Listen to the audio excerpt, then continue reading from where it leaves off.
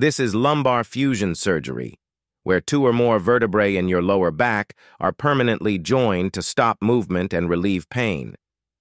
But the symptoms that lead here are often dismissed for years.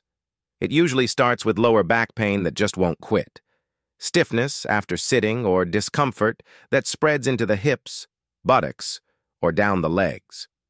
You may feel numbness, tingling, or even weakness, especially when walking or standing too long. These can be signs of spinal instability, degenerative disc disease, or spondylolisthesis, where a vertebra slips out of place. Many blame it on aging or a pulled muscle, but the damage can quietly worsen. If basic movements feel harder each month, your spine could be slowly collapsing. Don't wait until you can't stand without pain. Those small aches may be pointing to something serious.